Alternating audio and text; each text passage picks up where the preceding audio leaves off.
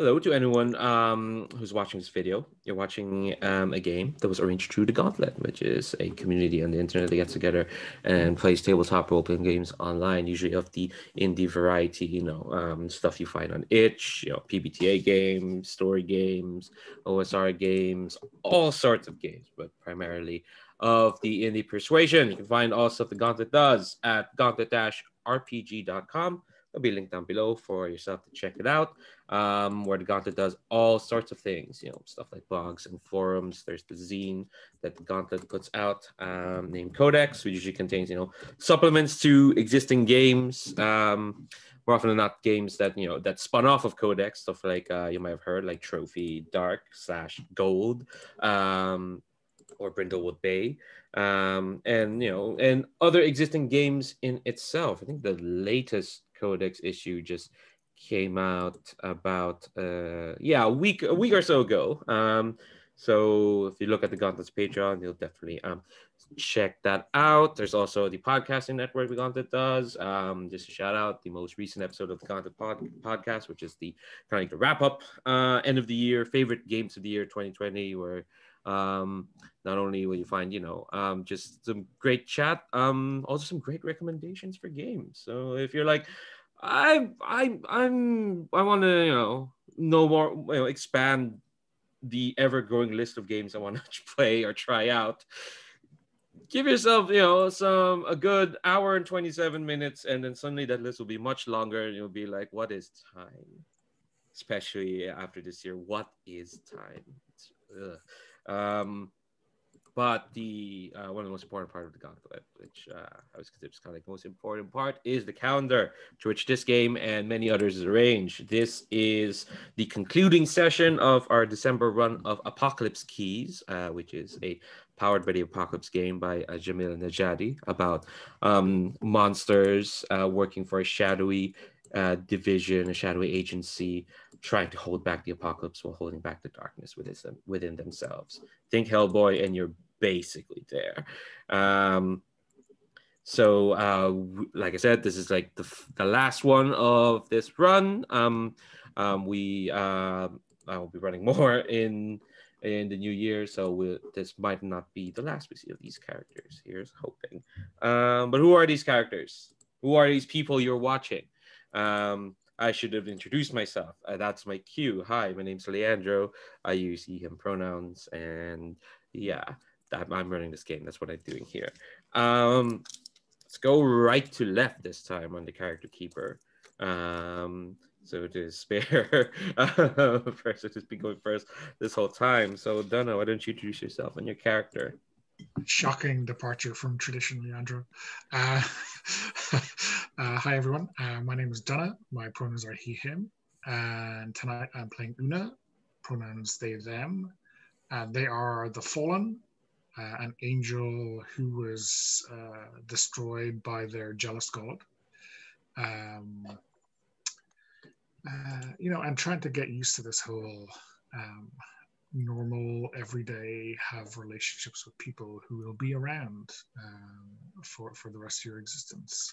Uh, I think um, last week uh, or the last session rather, we saw them quite forlorn at the end of things as they saw the fading light of heaven, uh, closing off the dastardly schemes of of Alexander, what's his face, uh, trying to storm heaven himself. So yeah, uh, a little bit uh, lonely uh, with this lost opportunity uh, is Una right now. God, um, you know you've been defeated when one of um, your one of the people finally can't even bother to remember their last name. Also, we've just went through the holidays. Uh, we did skip a week because time. Up next, you keep blaming uh, time for things. I look time. Not time's fault. It's you know time. What yeah, does it so, do? It takes a cigarette and puts it in your mouth. That's I don't know why that song came to my head. But Brandon, why don't you introduce yourself and your character? Speaking of time, um, yes, my name's Brandon, uh, and my character is Hope, um, a um, a young woman uh, who is uh, playing uh, the using the last uh, playbook Um, Hope is the, uh, the is a time traveling replicant and the the only survivor on her side of a war of extermination that will happen uh, sometime in the future, um, who has come back to try to prevent that from happening or prevent the war from happening, or it's not clear.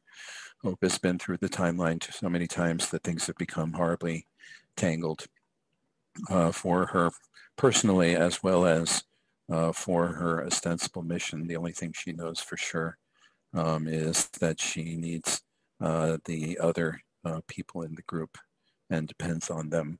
And she was uh, she was very um, very much uh, on a, a despondent frame of mind and consumed with her own um, with her own troubles and with the memories of the loss um, that uh, was evergreen in her heart, all the people of her kind who had died, uh, when she was suddenly reminded of that um, people needed her help right here, right now. Um, and uh, she was uh, redeemed, as it were, um, through the use of a bolt of love um, literal in this case, uh, cast uh, by a by an emotional weapon in which she uh, she realized uh, anew um, how much the other people here mattered to her, and that she could depend upon that even if everything else um, was in flux.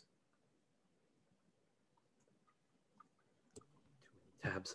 Um, uh, gosh, Hope Hope has been through a lot, um, but she's been a trooper through it all. Um, last but not the least, uh, last for once, Mario. Why don't you introduce yourself and your character? Hey, my name is Mario, and I'm playing Cameron Sweettooth. Um, a quite huge uh, crocodile humanoid uh, creature from a planet called Sumpf 9. Um, and he has been living on Earth since um, 1553, so quite some years. It's not that much on on the planet um, he's origin from, um, uh, originally from. Um, and for some reason, he never made human friends yet, but now he met Mary Fitzroy, and he hopes they will become friends um, further down the line. Um, he forgot to got, get her number, um, but that's something that the division should be able to arrange. Um, so um, he's really hopeful on that. Um, then he became quite a close friend with uh, Shard. Shard has been so supportive, so friendly, so helpful. Um, but Cameron doesn't know what what type of friendship that's supposed to be because sometimes it feels like um, Shard is some sort of like parental figure figure um, and sometimes it's just just a real real good friend.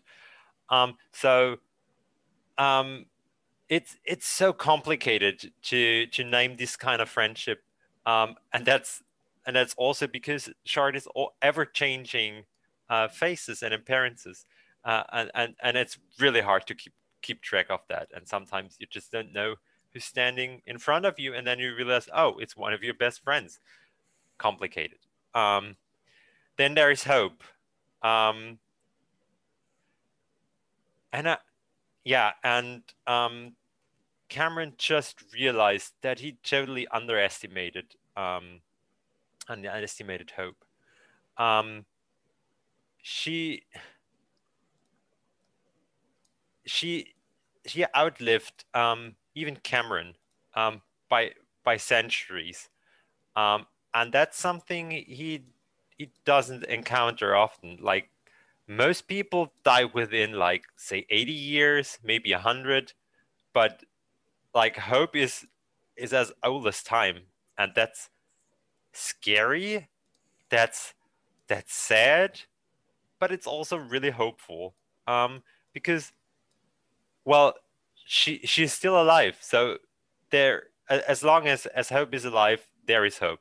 Um, so that that's something that's something cool. That's something um, that that gives Cameron hope because he actually should back on his own planet, be the god um, of that planet, uh, and maybe stop his quite violent sister.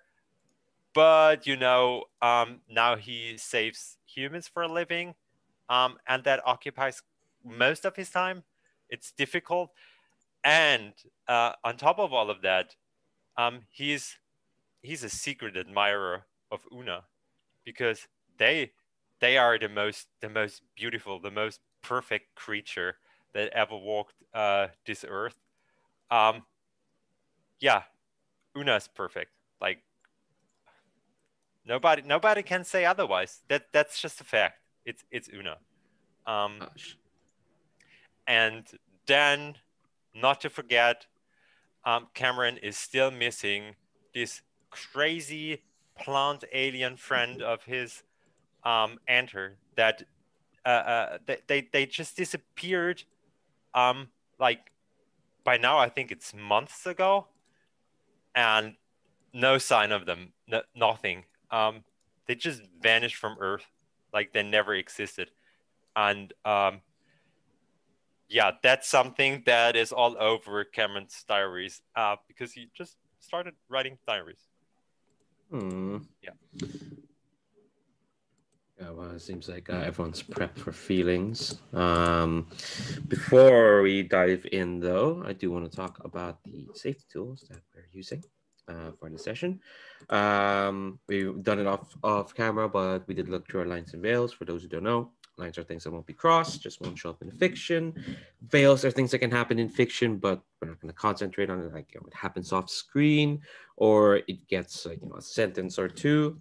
We're also using script change um, for this session. Um, for those who don't know, script change is like a series of commands that kind of lets us help modulate um, control the fiction um, with a more deft hand, so to speak.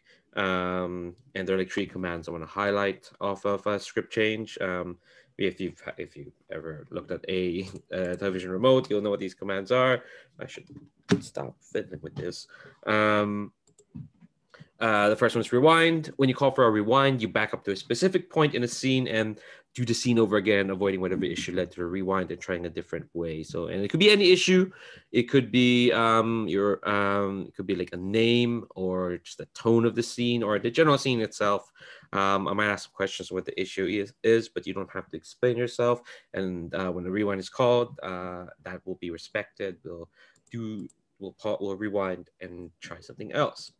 There's fast forward, which is when you call for, that's when you want to fade to black and advance time is needed to avoid content or elements of play or just to move forward in time you know like maybe there's something about to happen like uh, we don't need to linger on this moment we can just fast forward. It's kind of part of what we talked about veils uh when like when you flag a fast forward basically like uh we don't need to like concentrate on this either because uh, we don't need to or you know it's not important. Um last is pause which you can call for if you need a break from for a variety of reasons, whether the scene is becoming intense, um, or if you're seeking clarity or discussion about the game or the content. Um, um, it's kind of part of the open door policy that uh, we use here in the Gauntlet, where basically, if for any reason you need to step away from the table, um, you can call for a pause and say, like, you know, you need to go. And it could be any reason. Again, could be that uh, there is an emergency you need to take care of, or you were more tired than you thought and you need to take like a bio break, or you know, just need to like yeah exactly go or you need to like step away from the table entirely. That's perfectly fine and call for a pause we'll talk about it and make sure folks are comfortable. Okay so last session y'all did it. You um destroyed the time anchor underneath wizard world um which is uh, if i ever write this up as a mystery is getting a new name. Um was the, was it that decided? Um, in the Enchanted Empire. There we go. That's that's that's lovely in British. Um, um, but for now, it is Wizard World. You've defeated uh, the wizard himself. You've brought him to his knees. You've destroyed the time anchor, and you've caught the uh, perfidious shapeshifter that had that had been pretending to be the a division agent.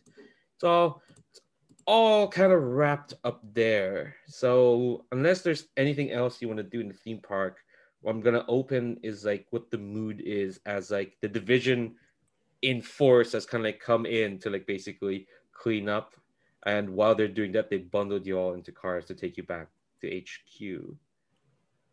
But if there's anything else you want to do in the park, um, open for that. I think we should leave all before we cause any more disruption, personally.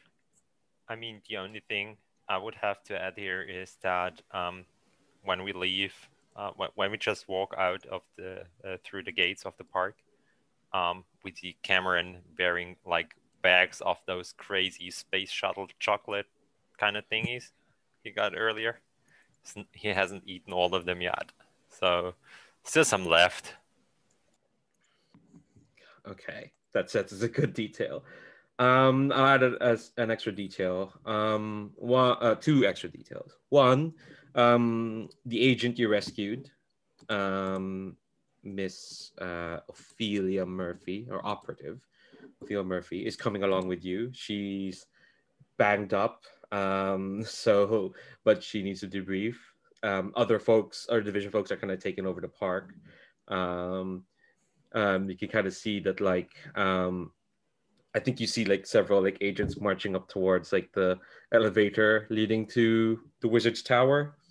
Um, they're kind of like and and they're like forcefully like, all right, no, we shouldn't have let one person just be in charge. We're bringing everyone in in force a bit. And then the second detail is that um, other division agents have bundled Shard away to a separate car and waiting by the car again surrounded by more agents in handcuffs is that is that lady friend of theirs um, cassandra who has apparently stuck around. She's in cuffs and the two of them are bundled in a separate car while the three of you and operative murphy are on another car as you head back to division hq in dover can I get like a sense of what the mood is uh, from each character? We'll go in the order that we did introductions, if that's okay, folks. Um, Una, how are you feeling? I think, um, yeah, Una is feeling all right. I mean, I don't think it has really hit them yet. So, um, this sense of being forlorn hasn't quite had the its fullest impact. Um, so you'll see them, you know, get into the car without much of a backward glance, and maybe lower the window and lean their head against it, and just, um, you know, every so often you'll see their eyes like flick, flicker up to the sky, like looking for as if they're looking for some kind of sunbeam or glimpse of beyond, which obviously doesn't happen in uh, sunny England all too often. But uh, here's hope. Speaking of hope, you want I should open a portal through the clouds. Um, the uh, um, hope is um, uh, hope has Humphrey in her arms um, and is um, is is uh, scratching his back uh, and holding him, cradling him against her her chest uh, as as uh, as best she can while they're getting into cars and things like that. Uh, he is seems oblivious to. Humphrey seems oblivious to to anything else. Um, Hope is tired, but um, seems reasonably at peace for once, uh, which just means that she's you know, the um, she has managed to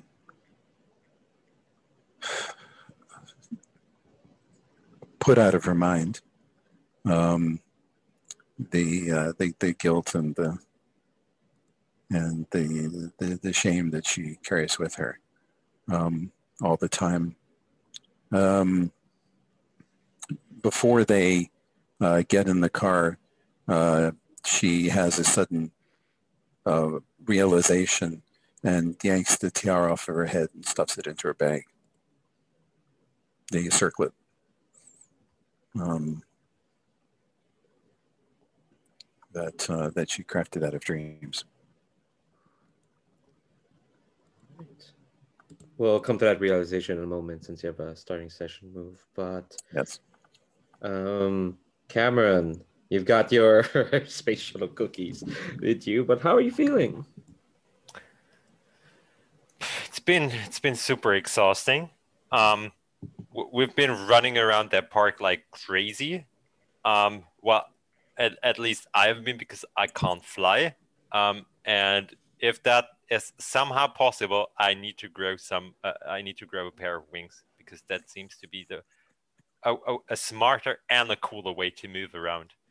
Um, I, I'm I'm quite impressed how the others did that. Um, that that was that was just cool and that's maybe because um, well una's wings are the most beautiful i've ever seen um, and and i get get ever so sparkly eyes whenever um, she's flying around like the little angel they they are um, that is uh, that it's, it's just beautiful to watch. Uh, but apart from that i know everybody's a bit down right now and it's not it's not been our best job. So the thing i do is um, once I stuff my my big crocodile mouth uh, with with a lot of chocolate, um, I realized, oh damn, there are other people with me. So um, I go like, um, do you, you guys want some chocolate too?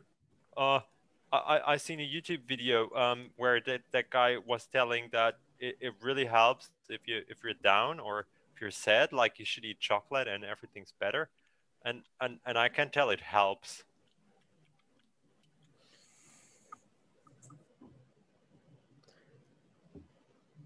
Oh hell yeah, I'll have some chocolate.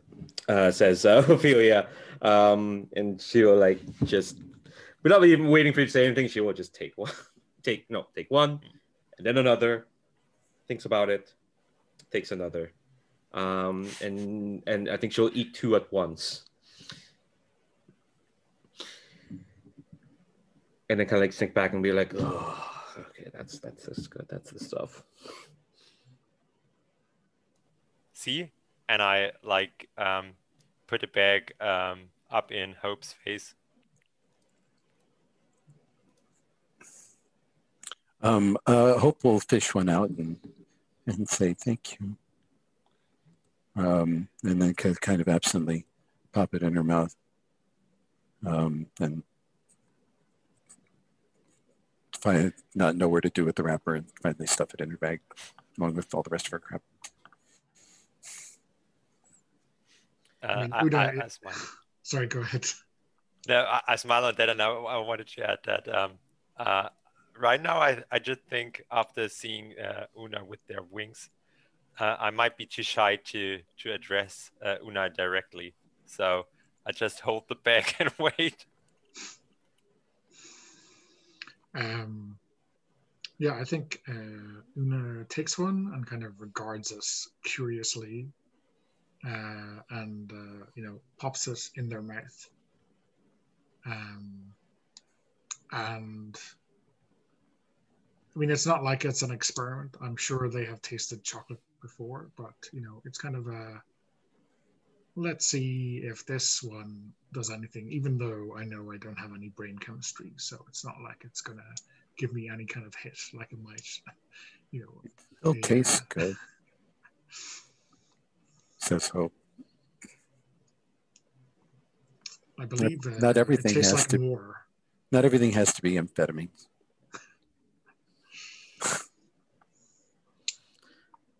Um, I think Ophelia might disagree. Mm, all right. She says as she is like I'm stuff sure you can get. I'm sure you can get meth if the you know in the division if you really want it. Hmm. I think like you see like Ophelia's like already like it's eating really quickly and it's already licking off like the melted chocolate. It just kind of gives you a look as if like I don't care if you judge me. Hope says I like British chocolate. It's got a kind of caramel taste to it. Hmm. Um, I was gonna suggest like a couple of moves are kind of like firing off. First off, uh Hope, let's do your start of session one. Yeah. Flickering hope. Um,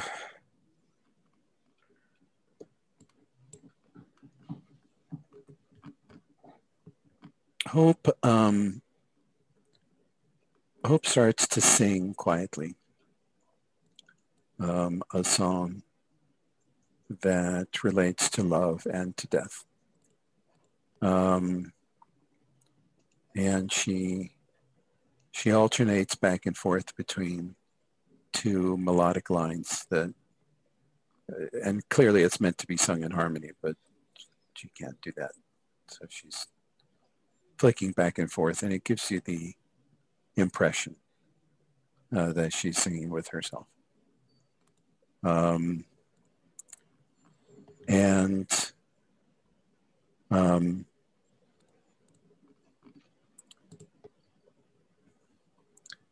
This is a lullaby that um, that um,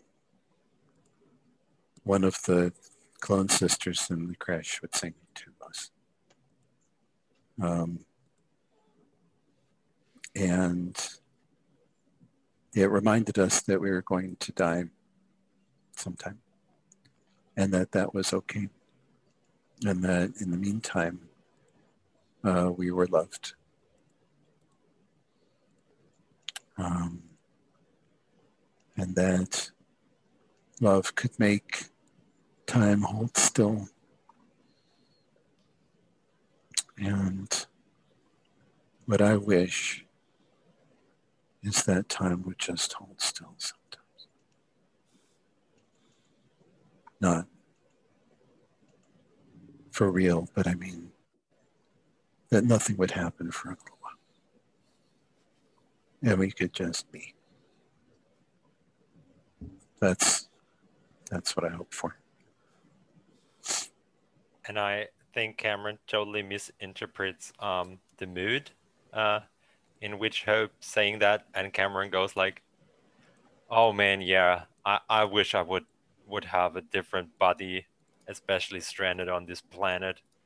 Um, I, I I wish I would more look like," and then he's eyeing Una, and then realizes that's like nothing he actually wants to say and then looks back to Hope and says, "More like your body. That seems seems perfectly appropriate for for a planet like this. Um, pe- people seem to, to like you. Um, I, I I wish they wouldn't be scared by just seeing me. Oh well, I just just that's uh, I'm just the fact that I can pass doesn't mean I'm any more like them than you are. You know. Um, Still, it's a different kind of struggle, I guess. You see, yeah, I- but in I a way, struggle with look look different and feel different. yeah, but in a way, they don't expect you to act um, normal because they can tell that you're different, that you're special. And yeah, some of them may, you know, think of you, see you see a monster, but at least, you know, at least they are prepared for you to to be who you are. Uh, whereas then they look at me, they expect me that I'm just like them. They and when I'm not, when it turns out that I'm I'm not like them, then it's a betrayal. Does that make sense? Uh, a bit. Yeah. No, I mean, and you know, Yeah, I have to I'm pretend. I have to pretend I have to pretend to be human all the time. All the time. Now I Because if get I don't, if I don't, then uh, I'm I, I, I'm just wrong. That's Yeah. why that's why they killed us.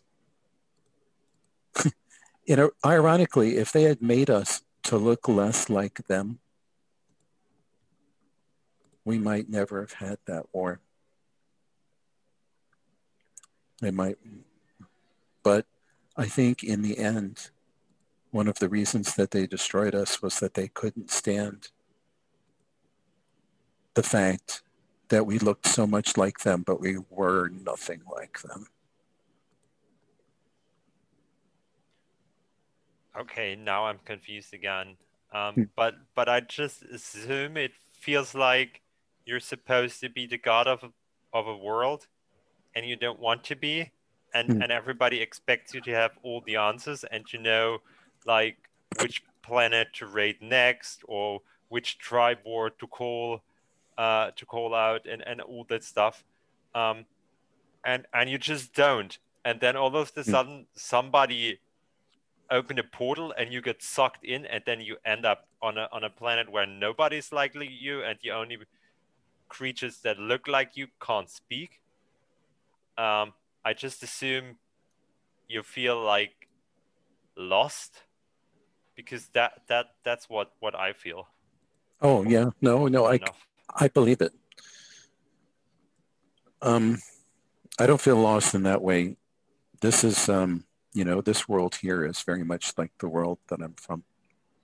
Um, and, but I'm surrounded by enemies all the time. They don't know it. I'm the only one who knows. But these people will eventually hate me and all of my people. They and um,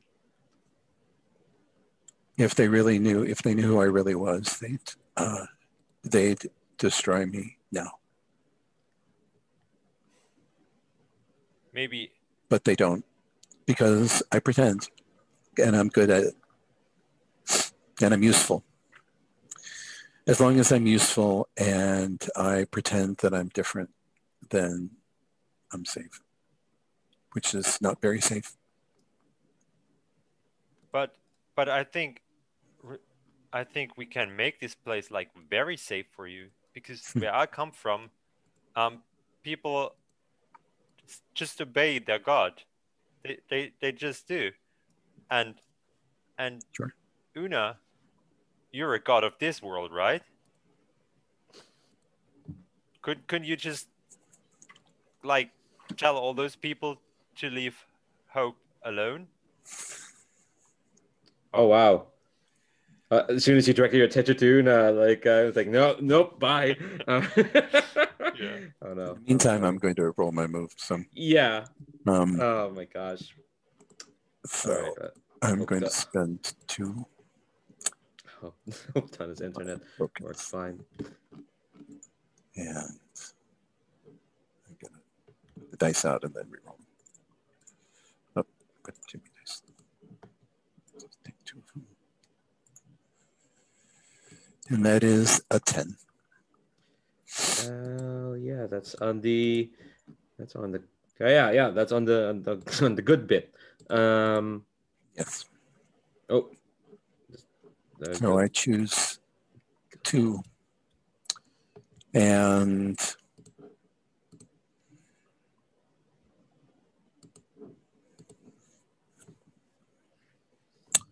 um,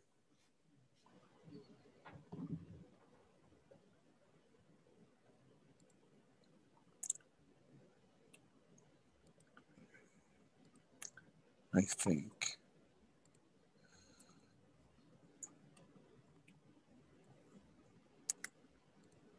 Um,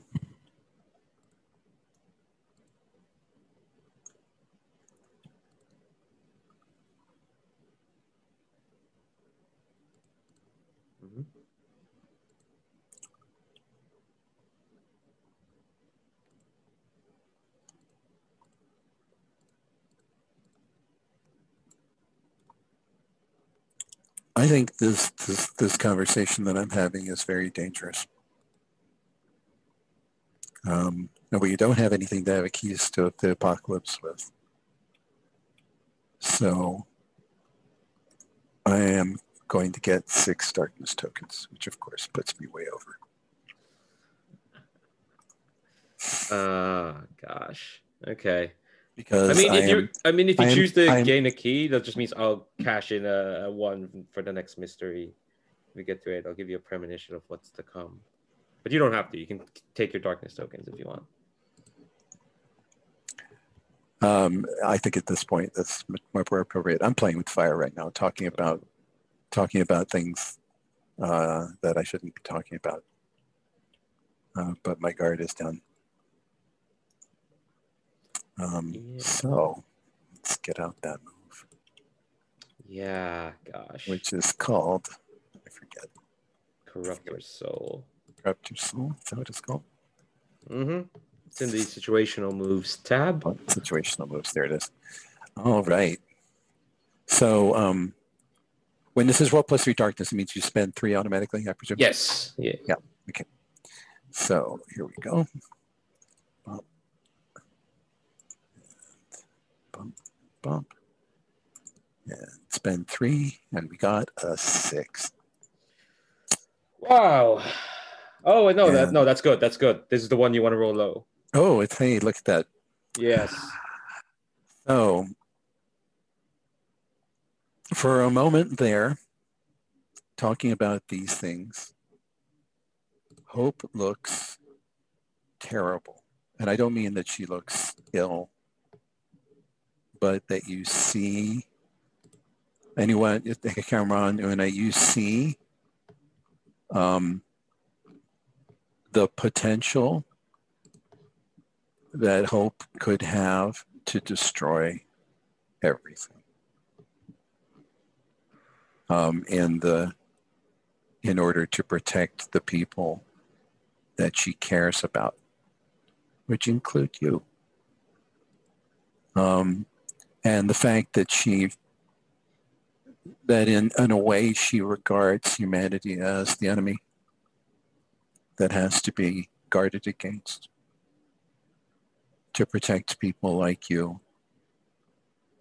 and her sisters who are not don't exist yet. And that she will do anything to keep you safe um, and then she's just hope again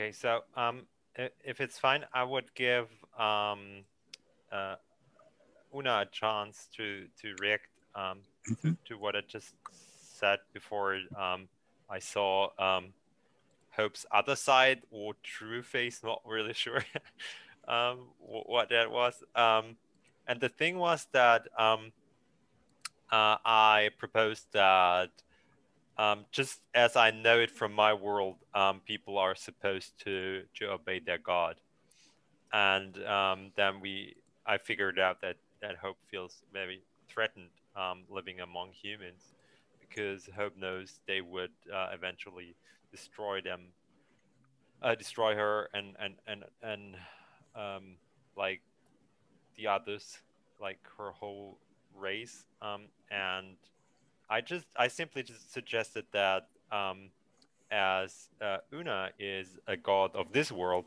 maybe uh, Una should just like talk to talk to humans, talk talk to people, and tell them to leave uh, Hope the fuck alone because like yeah, we all sort of need Hope because she knows stuff.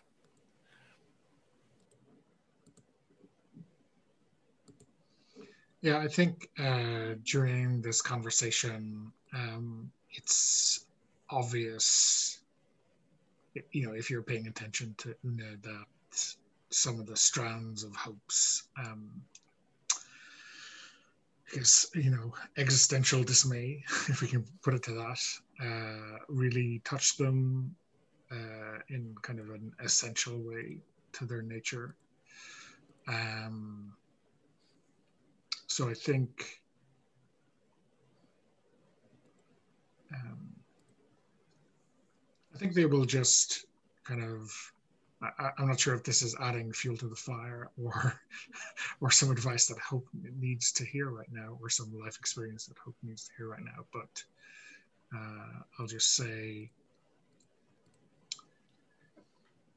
that someone can be 100% responsible for the way you are and yet feel threatened by it to betray you in such a fundamental way is what is impossible to forgive. Yes. And there is a Oh, a lack of awareness about humans. Oh. That sorry. that's the reason that I feel like I can fight for them because they're not aware of what they're doing. But some people, some things are. Hope smiles at Beduna and threads an arm around hers and uh, and and rests her shoulder briefly on on Una's and goes, "Thank you for understanding."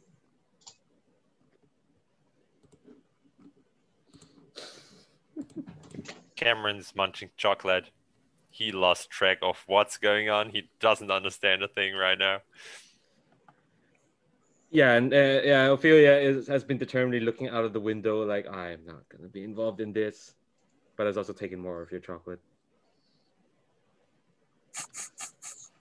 Okay, um, okay. I think um, we've uh, we've been here for at least an hour. Um, let's take a quick break for this one. Um, um, not to say that you want to do more in this car ride, um, but let's get you to Division HQ. Let's take, um, let's come back at, let's see, let's uh, let's just take a good. Hmm, I'm sorry, I'm looking at this. No, let's come back 40 past. Yeah. Quite a bit of a break, um, and then yeah, we'll see what you what you do in your downtime. Um, talk to you in a bit. Okay. Um, so let's say that yeah, the car ride passes and you're back at um, Division HQ, at least the HQ here in Britain, which is a castle um, uh, upon the cliffs of Dover. It's very picturesque. Um, the top half is kind of more of a tourist trap kind of place, while the bottom half is like more of the uh, the real division headquarters is like underground and whatnot, and a bunch of different buildings around this town.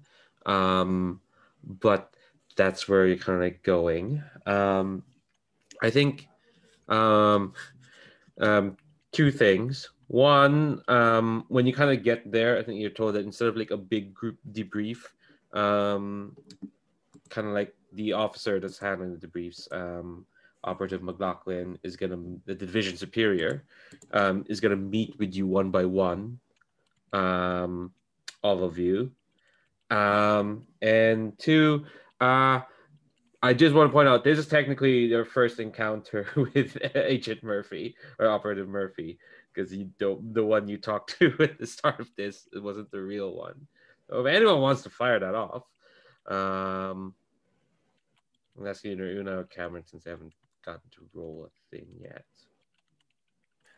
Um, isn't isn't McLaughlin uh, the guy with the terrarium with the thousands and Yes. frogs? Okay. Yes, yeah, that that one.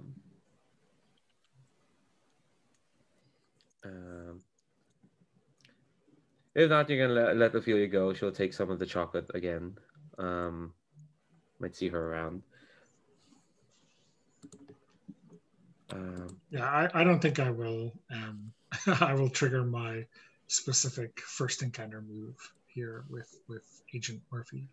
We'll we'll, we'll leave her at peace just this once. yeah, she's had a rough time. Um, okay, so what we're gonna do is like intersperse in between each of you talking to uh, the division superior. I'll give you each like um, a scene that you might want to set um, in in Division HQ, like whether it's with someone's particular or your, your character is doing something, um, and also get a chance to like see what your characters kind of like do in downtime. Um, but I, I think mean, I need to Okay. report, right? I, I've got Yes. the special special mission. Um, yes. So I think you're gonna go first. um, Yeah. um, talk to uh, the director, the division superior. So why don't we do that first, and then we'll let uh, you know and Hope think about what they're doing while Cameron has kind of been summoned to uh, McLaughlin's office. Um, just as a reminder, because I'm looking at the notes from the previous session, Operative McLaughlin is uh, a one of the big wigs in the division. They are committed um, to the agency. They have a cable uh, connected to the back of their head that's connected to a machine. In their office is a terrarium full of frogs. They speak in a low voice, quite understated, and they're played by Pete Postlethwaite, um, uh, young Pete Postlethwaite. Um, they're in the NPCs tab.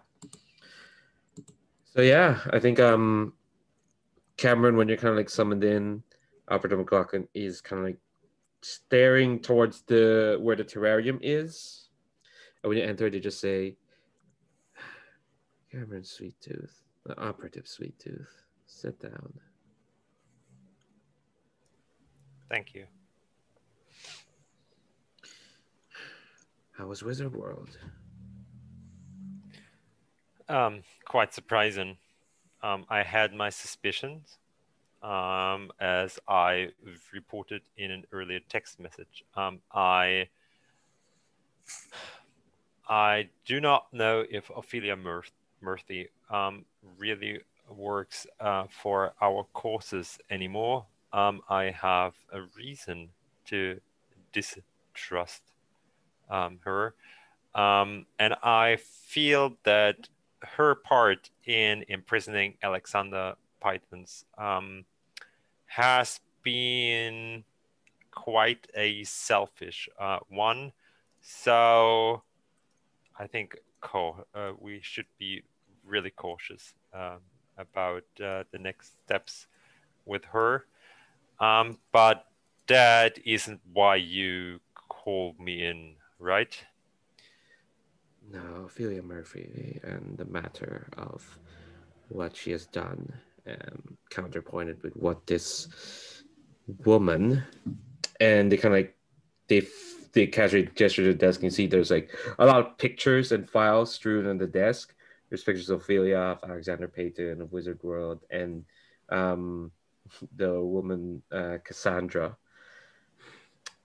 But that is a separate matter, and I thank you for your suspicions. No, I'm here about the assignment I've entrusted to you. Yes. And I um, there's a bit of a disclaimer um, uh, I have to talk about because um, we all know Hope can be quite charming, um, and I can't help but uh, feel that we have become friends. So everything I'm saying um, from here on might yeah might not be really as professional as i want it to be uh, and i think um, i i don't trust myself in this matter um,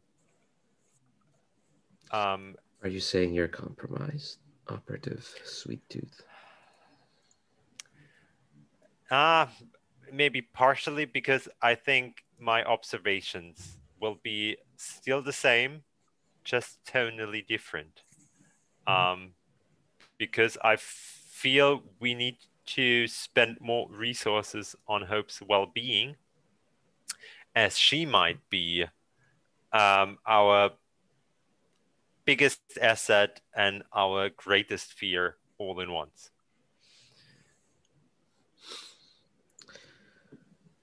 Operative Sweet Tooth, I'm sure you're quite aware that the division, the kinds of people it employs and it enlists, on a good day, on a bad day, each of them could be described as our greatest threat and our greatest asset. Are you telling Okay. me that it is Operative Hope's turn to take that mantle? No, I think we then we should uh, specify um, about um, the importance um, of the medal, or maybe of how big um, this uh, the issue with hope uh, could get, because we're not talking like Cameron Sweet Tooth might go mad and might go uh, might become a world eater and chop off uh, bits and pieces of uh, certain planets. Um, we're talking about the collapse, maybe even the extinctions of multiverses just by just by uh, the two hands of hope. Um,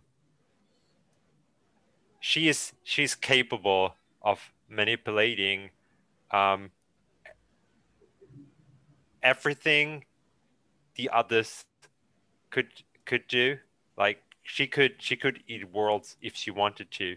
She's capable of everything I possibly could, of everything. Maybe I'm not really sure about Una because gods are way more complicated. But she like Hope could do everything uh, Anther could have done. Um, and I'm certain that um, Hope's powers might even exceed yours.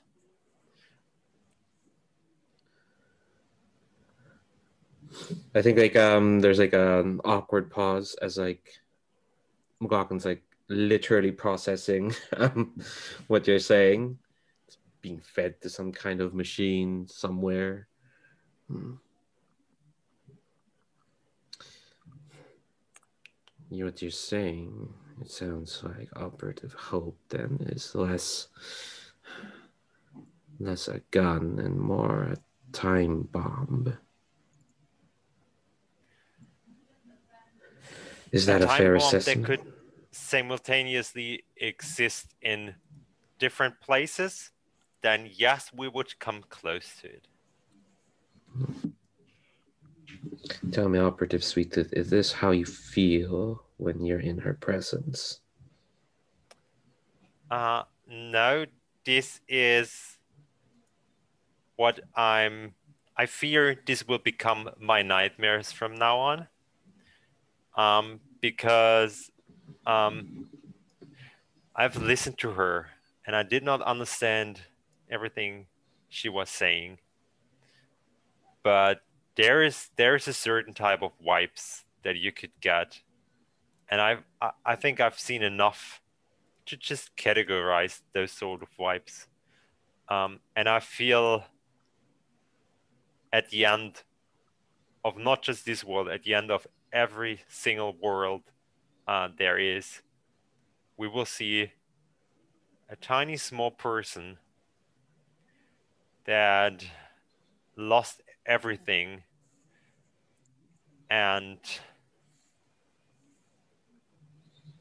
on on whose mercy every living creature there ever was and ever will be uh, is. Like if if hope becomes our enemy like we're doomed. There's no yeah we just could stop doing what we're doing because there's literally no hope for any of us. Um i mean this is bad bad. You get me? Like like real bad. Um, I think because part of because McLaughlin is face is inexpressive to the max. I think as you're saying this, I think I'm gonna ask you to listen to the dark. This is there's there's, there's, there's this is quite some emotion that Cameron's putting out. Like this, if hope goes bad, game over, man. Game over. Game over. well that that's the yeah that's the sort of vibes i got i got from hope for quite some sessions now um Cool. So um, yeah, um, I I took earlier I took two um, points of darkness because I felt unloved um, Mhm. um, a couple of times. So I think yeah, why not go full in? I I roll with a plus four, I guess. I think you can go up to three.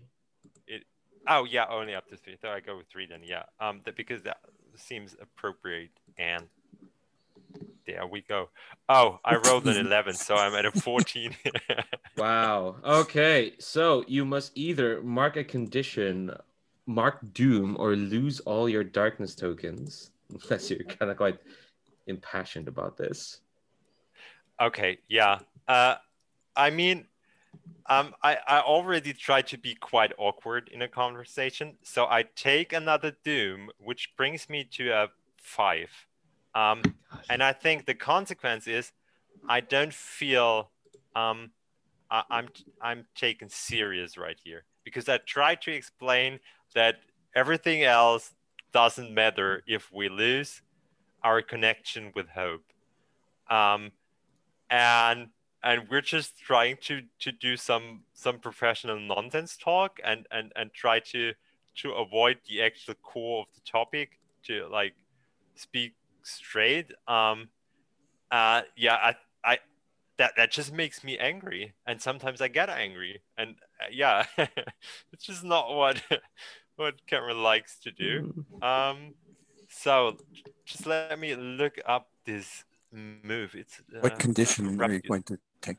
Yeah, when you take when you mark all doom, you also mark a condition. yeah so you get that uh, anyway. Okay yeah perfect uh this, yeah it's it's quite a climactic experience here um Um, so the I hear I hear a table breaking in the near future. yeah. Um. Yeah, hmm, it's different. I could be either driven or hopeless. I want to say I go with um driven because then I've got a minus two on listen to the dark, which uh, yeah, yeah seems seems appropriate. Uh, and I'm down to one darkness, and then again back.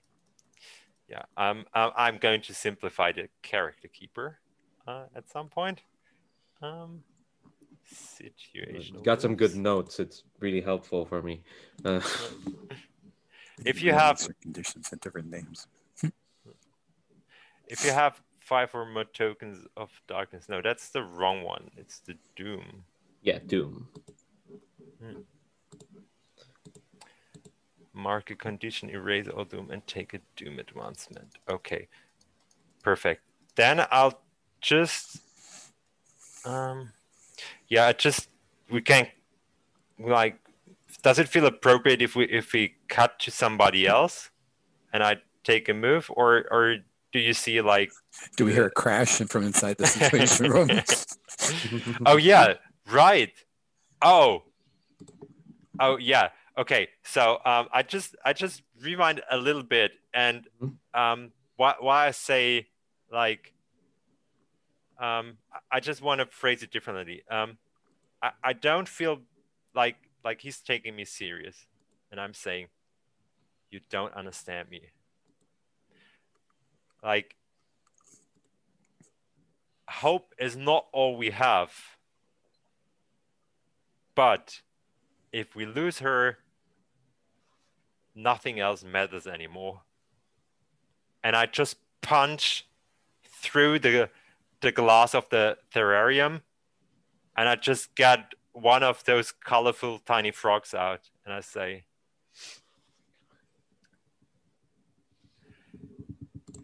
See, they lived in their separate world and they didn't see it coming. I think I just warned you. And what's happening to all of us is in your hands. And then I just like run out uh, and take the frog with me. Wow. Taking one of his frogs. How dare you? Uh, what a beautifully petty thing to do. Um, okay, cool. Glad all that happened.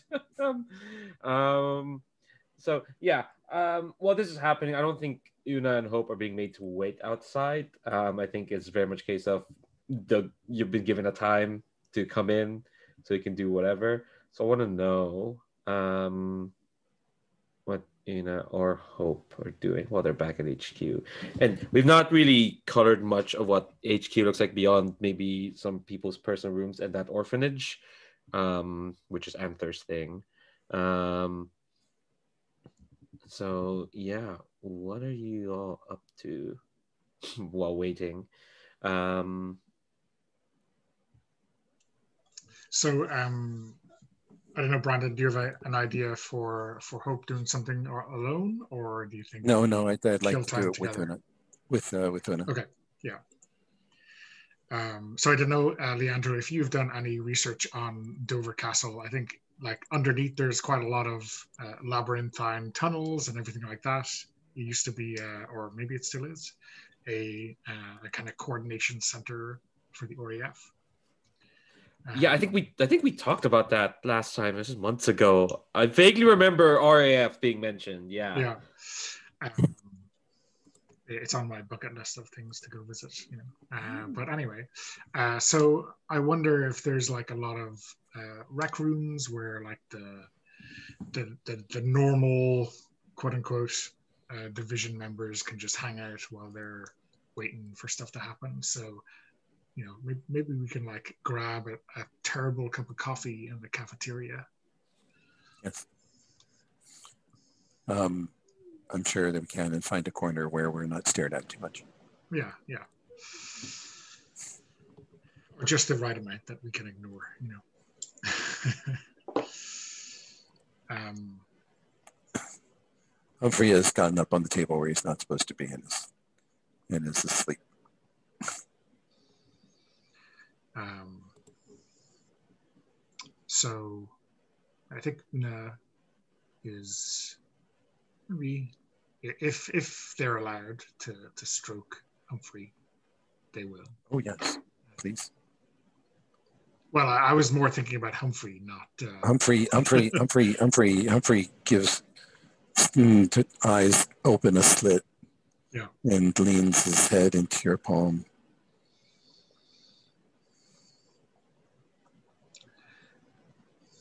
So I don't know how much you take Cameron's, I don't know, obliviousness to heart. It's part of who he is. Um, Yeah. and I think it's a good defensive mechanism. Actually, I think I, uh, I wish, I wish I understood less sometimes. I think I would make, it would uh, make life a lot easier. Yeah, I suppose I'm glad he is unable to confront his own emotions on these things myself. Might make things awkward. I'm afraid I said some things I shouldn't have on the car. on the way back. No, you're you're right. I think. Uh, it was all the truth. Um, I'm just not sure it was wise to speak it aloud.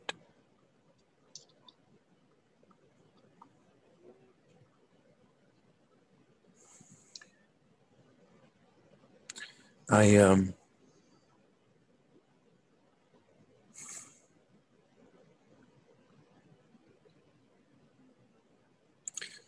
dealing with Alexander must have been very difficult.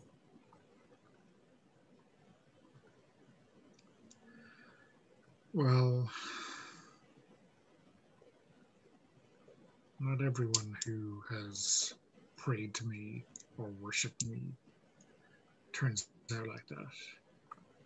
But uh, sometimes ones get the power, ones who tasted what I can do, can't resist the lure of going beyond. No. and it must have been hard to mm, to deal with someone who had an offer of possibly breaching storming the gates as it were however quixotic.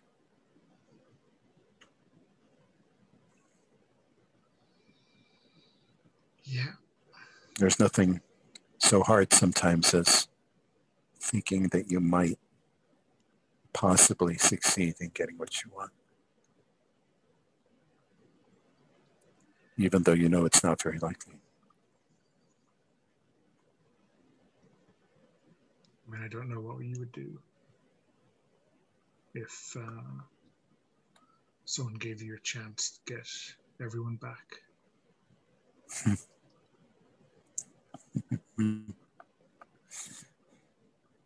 what what price would be too high to pay for that? I'm still answering that question. Because, of course, I get the chance to do that over and over. And um,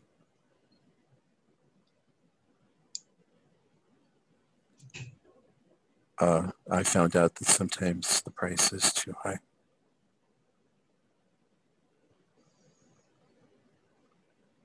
I, I don't know if I'm lucky or not to have the opportunity to try again after seeing my efforts turn into complete disaster.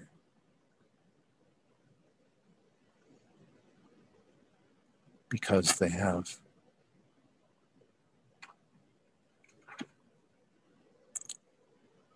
And once or twice, I just wanted to lay down and stop.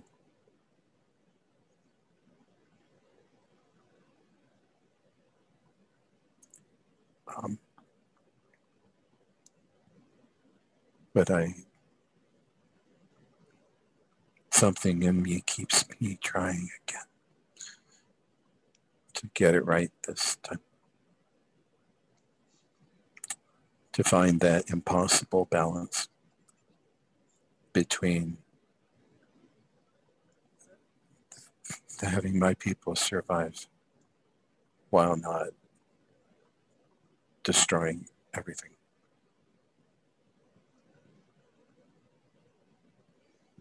And I haven't done it yet.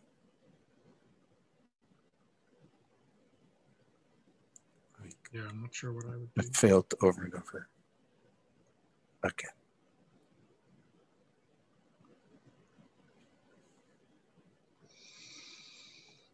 Um,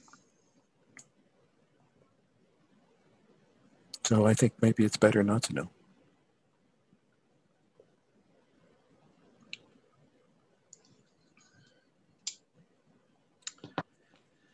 Maybe.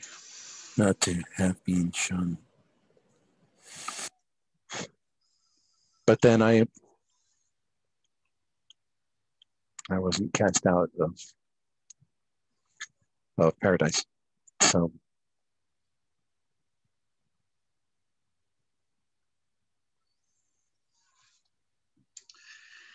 I'm trying to I'm not trying to get back to a perfect world. I'm trying to fix something that was horribly broken.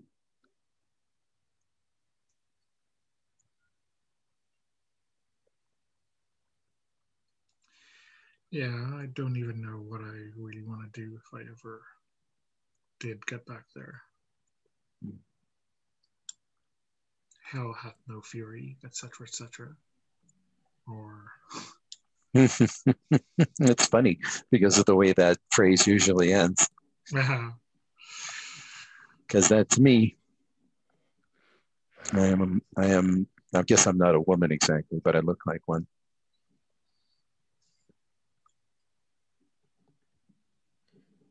I'm All right, sure- who's who's doing the reaching out? I'm. I just want to know.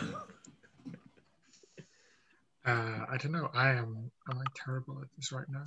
Uh, Depends on no, how I'm many tokens. listening one to dark. Okay. Mm.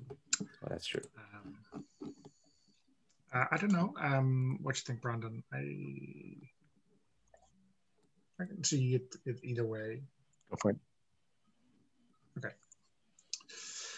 Um, I will. I'll roll. I'll roll it with two tokens. And, uh, roll a six, so that is an eight. Gosh. Never, it's never, it's always just the right one, isn't it? Um, Well, I mean, that- we're usually aiming for a nine, the, the perfect center of that result. and you more often than not get it. Um, Yeah. All right, so an eight to ten, you both find the light in the dark. How do you gain hope? Not capitalize hope.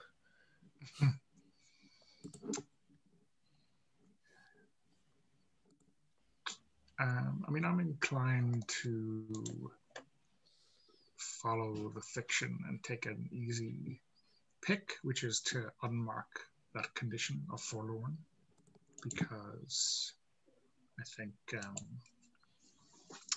Una is quite. I mean, between their discussion in the car and here, uh, they are quite happy that at least one person in the universe understands them.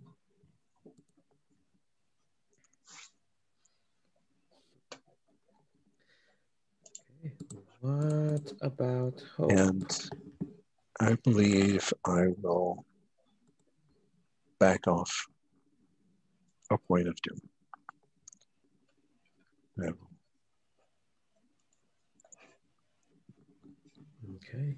let uh, giving voice to some memories of failure allows me to uh, let some of them go.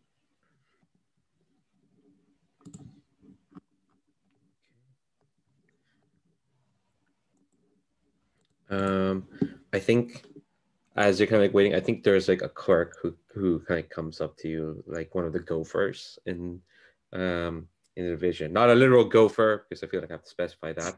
Um, who will just say that um, Operative McLaughlin is looking for you and looks at Una. Um, but before we get to that, is there anything else you want to do um, in this scene between the two of you? Um,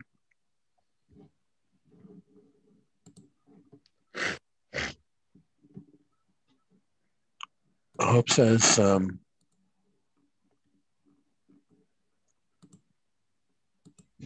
look what I, um, look what I found. Um,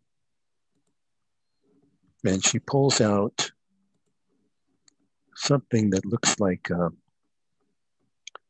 a little multi-pointed star, a three-dimensional star with like uh, with eight points, I think. Um, and she holds it up in the air and she gives a little twirl in it and it, it floats and gently gently turns around like a little spinning ornament.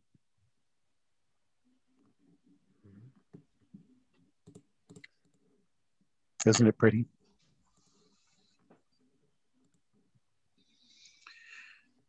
I mean, I I presume I'm missing the point entirely by wondering what it's for.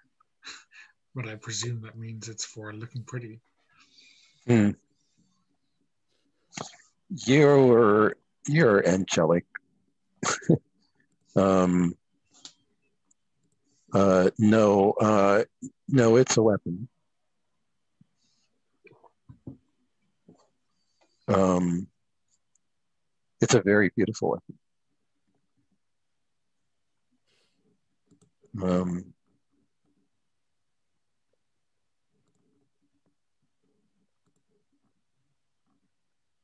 Does it uh, eviscerate individuals or does it destroy stars?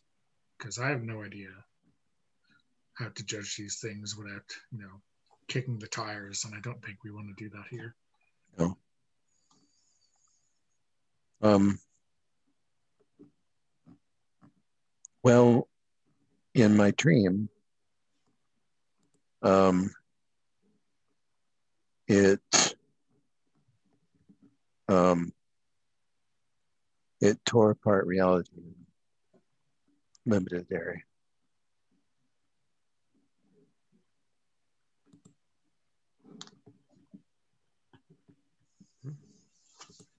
Kind of made a little dimensional quake.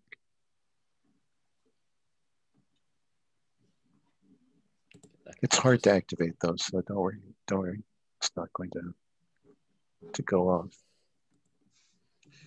Humphrey isn't going to accidentally uh, worry it into a, uh, a reality shake. Huh? you know, that's the funny thing. Humphrey might be the only thing that would survive it. As far as I can tell, he's invulnerable.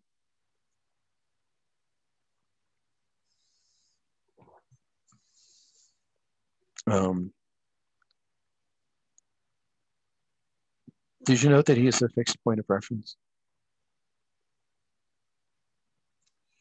I mean, a cat's ego is uh, all, all the fixed point of reference reality needs.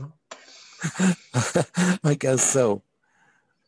It has something to do with the experiment that they did on him, sending him back through time. Um, he is an interdimensional point of ref, fixed point of reference. He's always he's always in the exact same spot, wherever he happens to be. Useful to know. It actually is. If you are ever lost, mm, and you can see where he is, you can use him kind of like a pole star. I did that once.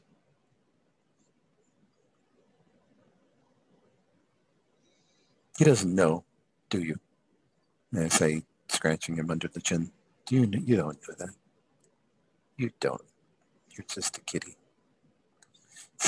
You have no idea that you transcend space time. No, you don't.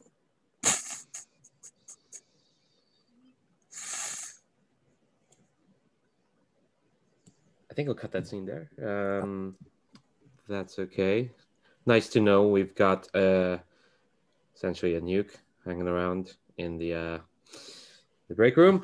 Um, I want to know then where did Cameron, before we get to more uh, critics from Operative McLaughlin, Cameron, what, where, where, where did you go? Where, you've got a frog with you now. Um, I have, and uh, the frog sitting on my head, and as is established earlier, um, whenever like the frog uh, is quacking or like making any noise, it reminds me of my old home. Um, because last time I've been in the office, uh, I've been remembered that I was supposed to become king. Um, and this time I remembered the the day when uh, I got summoned to this planet. Um, and then I remembered, oh shit, Hope was there. But I still got access to all the files of Hope. So I'm gonna gonna deep dive into the files again and do research. I want to know if Hope actually came up to summon uh, me uh, with the idea to summon me because they only could summon me if they would know my real name.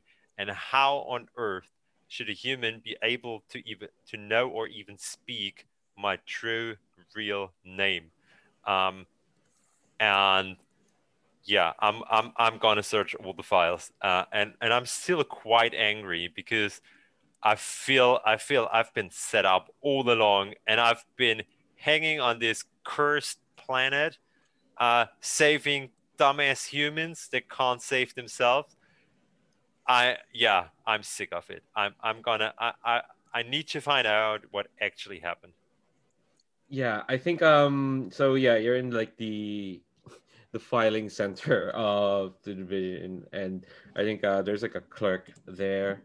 Um I think you probably met them a few times. Um um I'm gonna say their name is operative chance Um, they look like they should be frontlining a K-pop boy band.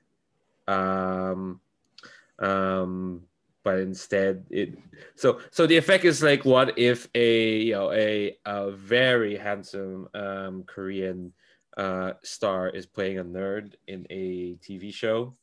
That's that's the vibe that that they're giving off. Um, should have to find a picture of that now. Um, but but but you can tell they are actually like a proper nerd. It's just they they look so beautiful. Um, and they kind of look up from what they're typing, and they just kind of either for uh raise an eyebrow and says, "Cameron Sweet Tooth, I don't normally see you uh in these parts." Oh, hold on, my headset just died. Uh, second, why reconnect that?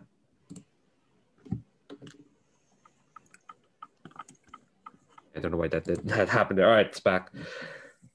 Okay. Um, yeah, uh, I look about like 10 centimeters left to his uh, head. I can't look him in the eyes. Um, if uh, crocodile could blush, uh, could blush, I would, but I don't, uh, fortunately. Um, and I say, came from um, we did use quite different letters. Um, we we basically had something like runes, and I'm still confused by the lettering you guys do.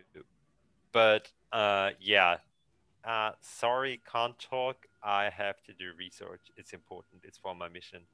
Um, right. Would you please let me into the um, uh, let, let me through to the personal files uh, on division members. Um, I think they probably will, but I do want you to. No, you're not unleashing the dark here. I think like um, you're not gonna beat this person up. Um, I mean, I mean, you, you want to enforce your will on someone physically, socially, or emotionally. That is the move. Um, well, um, only sort of because um, yeah. you gave me the files with the mission. I did. I did take a note on that. Uh, McLaughlin oh, yes. trusted me with a secret mission and gave me the division's files. Oh yes, yes, yes, yeah, yeah. I think like um, they will kind of like nod and they say, uh, Operative McLaughlin sent a note ahead about you. You can go in, but you have to leave the frog here. Yeah, uh, I uh, try to like I start to reply, but then like just shut up. Uh, set a frog on the desk, uh, and uh, yeah, um, yeah, it's not worth it. It's it's totally unfair, but it's not worth it. It's not your frog. Like, what do you mean it's unfair? Also, you're not allowed to just bring. Reminds me of home. He's the only. He's my personal anchor in this time and space. do you think Operative Chan's gonna let you bring a frog near division files? I hoped, but unleash the dark. No, I'm kidding. yes. Uh, so you want to look at that file and any other kind of files? Um, yeah, like most specifically, how I, I want information on how I actually ended up here. Because okay. yeah, it doesn't make sense. Like they wouldn't. How would they know my name? Did did, did I just try like several thousand different names and see who came through the portal? What if they're like a major demon came through? That it just doesn't add up. So. Okay um, and hope was there. Like that that that much I know. I, I remember that, and and it's it's been established. So um, that is something that that bothers me. Okay. Um, I think I I think I want you to roll grasping keys for this. I mean, you're not gonna get a key of the apocalypse, but like that's kind of like our yeah, investigation okay. move. Okay, I'm I'm going bold as well. Uh, I gave myself um, two tokens for being like angry all the time. Um, if that's okay, and I would invest them, like for mm-hmm. punching the office building. uh, like the, the terrarium in the office. Um, okay, there we go. Mark the top. A six plus the two is an eight. Wow, you're always on point. Yeah, I think yeah, you dig through like the files, um, and it's almost like as if like it, it's almost like what the information you're looking for. It's kind of like drawn to you. It's almost like like oh, I can follow these threads. I know exactly what I'm looking for. Um, and I think yeah, you'll find it. I think who. I guess I want to ask Brandon if they want to have input on what Hope was doing there when Cameron was summoned. Um, uh, so, uh, the, well, the, the first thing is looking at my personnel files. Um, I have 12 of them. Um, it, there is there is hope, you know, and then the you know then and then that one's been amended to hope uh you know the you know ver- version 1 hope version 2 hope version 3 etc and they were they they refer to each other to some degree. Um see you know hope 4 says he see hope version 3 with following amendments. Um and it details some differences um, uh, but when you um, when you wade through them and put them together, um, in um, it does. Um, uh, Hope was uh, was there when you were summoned.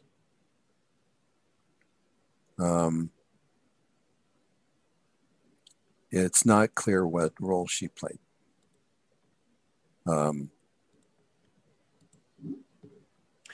okay, the, the files don't say where they knew, um, like who t- told them my uh, actual real name. My my inclination, if I'm allowed to state the answer, Uh-huh. my inclination is that your real your real name was found out by sorcery. Um, is that someone found an artifact um, that um, you know that linked uh, that they knew linked to a summoning, and they got um, and they got a you know they they they got a true name out of it. I'm gonna add Um, something to that. Um, I think you see bu- buried at like the bottom on like notes of like ephemera is like uh, the agent was in charge of you know breaking up like that summoning that found you. So I'd interviewed some of the people involved in summoning, and they'd said that they had been given this. oh, They yeah, they found this artifact, um, and there's like unconfirmed reports that they were following the direction of a well there's there's dispute on whether it was a crocodile person or an alligator person. Um but there's an implication that at least some of them thought that they've been given by Yeah, and I and it may well be that division was um, that there were people who were trying to summon you in order to control you, um, and you know unleash you, uh, and uh, you know to to dominate you and, and use you um, as a weapon. And uh, division forestalled them, and then realized this information is out there and that the only way that we can prevent this from taking place is to actually summon you um, in a controlled environment where you're not dominated.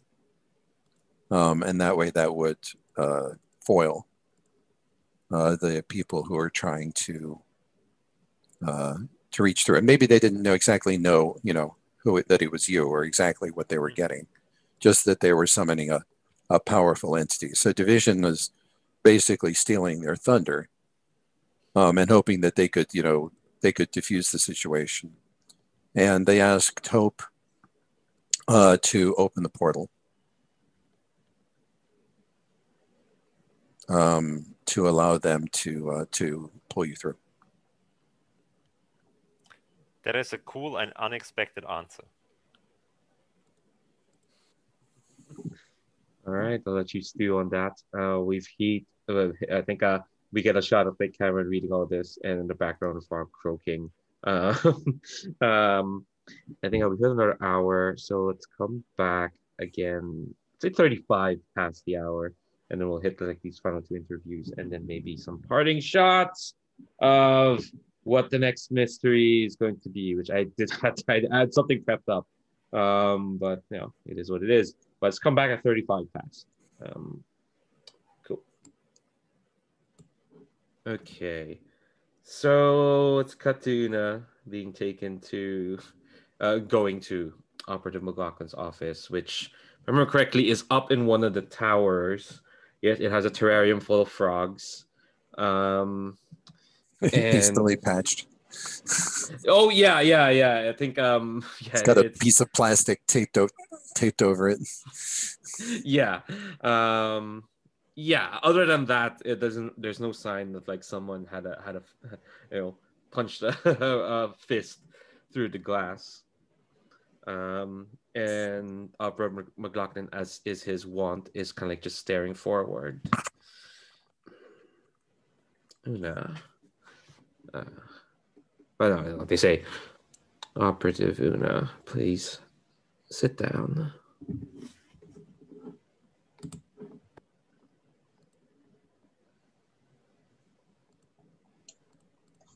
And I think, assuming that there is more, or even if there's only one seat, uh, you know, Una regards it like it's a choice to be made. Um, so they they sit down. Uh,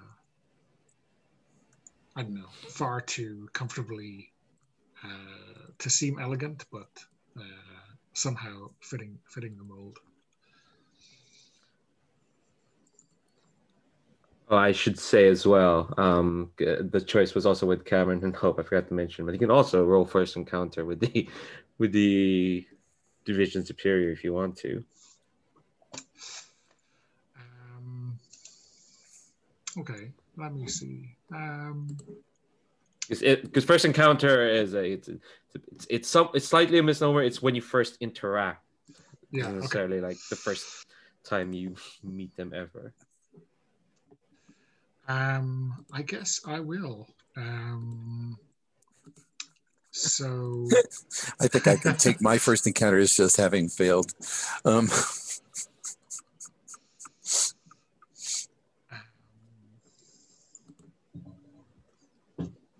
I wonder if um, if McLaughlin was a an agent with Hope who uh, recovered Una at the gates of hell.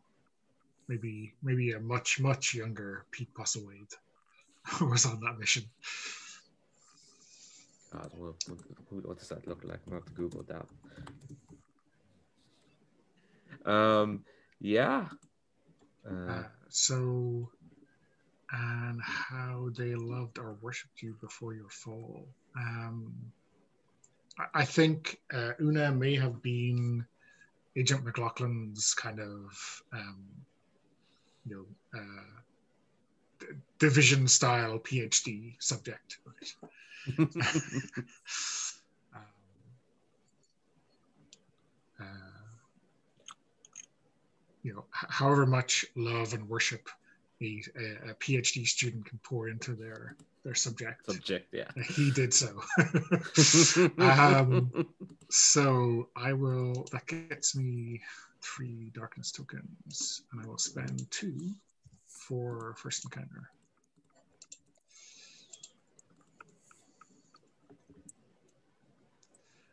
And I rolled a f- three. Uh, plus two is a five. nice. Ooh. Uh, so, uh, something. wow! Got wow! something on you. Oh, the, on a seven, on a oh my god, on a seven minus They now serve those who force their fall. Their master will make a move against you immediately. Holy shit! Uh, God. Sorry for sorry for wrecking your nice calm end of a end of a series. Oh, you have a special table. Oh my gosh. yeah, yeah. So the the the the standard first encounter seven minus is they have something on me. What terrible secret did they know about Right, right. me? But you have you have you have something worse. But I have ec- so yeah. So the extra you loved me once. Um, I I think um, I, I let me know if this this is all right, uh, Leandro.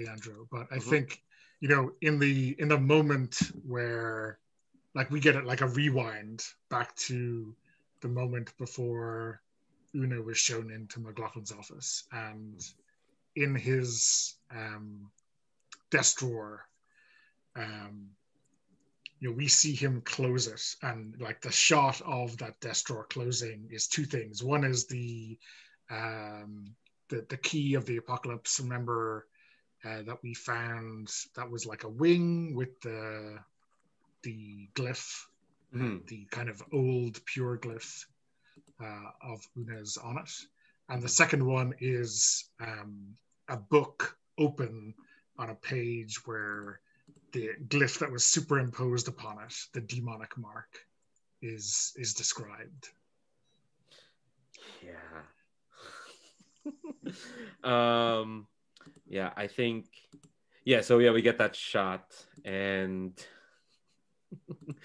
uh, I'm gonna let this play out before I tell you uh, what, move um, the Sure. wrestler makes because I wasn't expecting this. I'll give you a moment to think about it. um, but yeah, Well, the the move, the you know, the the the the move might be you know clandestine. Yeah. Just that like, I will inform the player so they'll know. Um, but yeah, they ask if like yeah, take ask her to take a seat.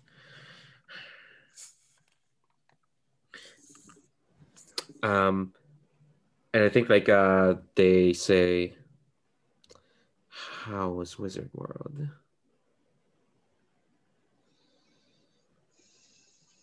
I mean, unexpected. I would have. I would have presumed that you would keep a better eye on your agents in the field. Um, you know, um, Agent uh, Murphy was put through quite a lot, and I'm not sure if uh, if that shouldn't be your your biggest lessons learned taken from this whole uh, episode. Well, it's not an excuse, but it's explanation. We're quite stretched thin as we are in the division. And Agent Murphy was young and new. This assignment was meant to be a test. Well, we've learned quite a number of things. One, Alexander Payton isn't as cowed as I was, as I believed he was. Two, Agent Murphy could do with some more seasoning back here in HQ. And three, the gaze of heaven still still seems to seek you.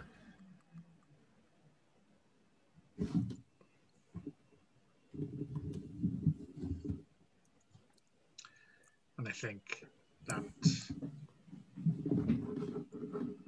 that observation by McLaughlin may take Una back, given that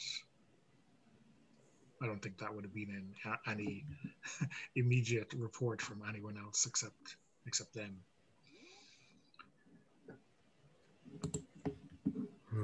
Well, this um, Mr. Payton obviously um, had grand plans.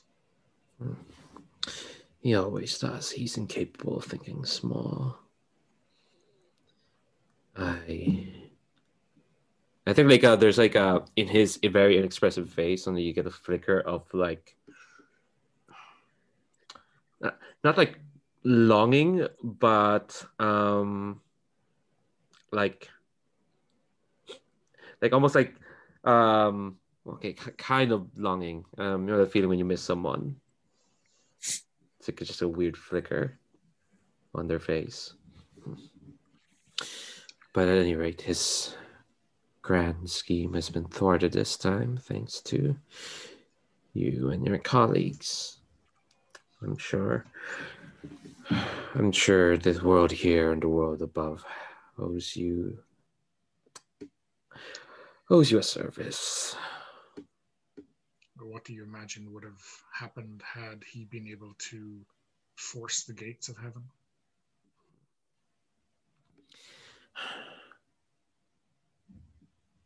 We have our hypotheses, but heaven on earth is a concept that is just about as destructive as hell on Earth. Uh, quick question. Uh, remind me, how did your fall kind of like came to be? So, um, mean, from from the from the initial story, right? My origin is I was an angelic creature destroyed by my jealous god. Uh, so you know cast out of heaven by some kind of idea that they were a bit too perfect and maybe attracting with too much worship by people who should have been worshiping their god instead. God. Um, sorry, my internet broke up there. Uh, what was the last sentence? oh, uh, attracting a lot more attention and worship than they should have, and uh, all of that worship should have been directed to the, their god instead. Lovely. Um, uh, uh, I think. I think like um when McLaughlin speaks again, their tone is like wistful. Um, actually no, they spoke last. Um, tell me how do you kind of get the sense that like there's like a weird kind of like strange power in the room um as if like time is suddenly like it, it's it's kind of like the same feeling you felt of being uh, near that time anchor suddenly it feels like this room is like isolated from the rest of the world so i think i am aware that the the kind of harmonic arcs of my wings are being kind of hemmed in a little bit. You know, that something, some force um, is pushing back on them. Not in a kind of aggressive way, like maybe the other power is even trying to hold itself back so it's not noticed, but mm-hmm. there's something not quite right, not quite ringing true with my uh, my wings. Mm-hmm. Um, I think just uh, yeah, I think um, the move that kind of like their master is doing is that kind of those harmonics are kind of like they're feeling in their wings, but I think like unless you're like really concentrated, you'll feel that they're almost like seeding themselves into your wings. Like um those energies are like filtering in. You know it's kind of like how when shard saw all those ley lines and there's some stuff connected to it it's like their power is like intertwining with yours um also that asks you to mark a condition. How are you feeling? As this is kind of like happening amidst this interview. Um I, mm, I'm inclined to say raging. but I, there's only so many terrariums that McLaughlin has that we can break, right? you never know. Maybe this is a common occurrence in his office. is like, yeah, yeah.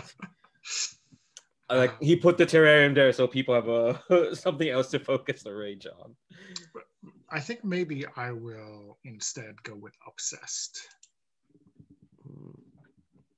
Um, because I can definitely feel it, but I do not know the source um, of the power. And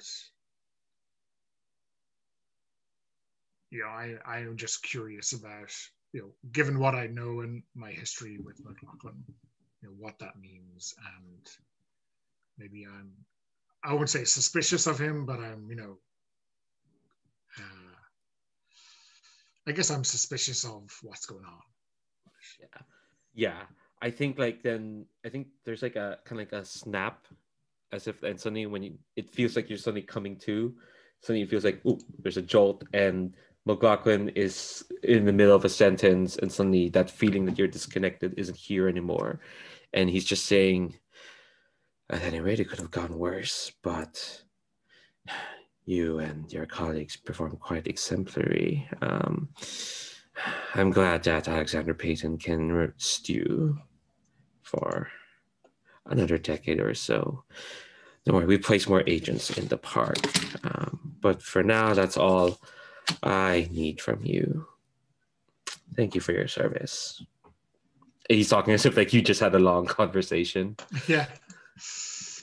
Uh, okay, You do? So yeah, I, I guess I will kind of nod curtly to him and uh, you know stalk out of the room.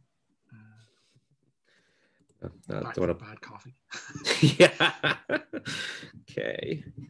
All right. Um, I want to see what else. I think. Um.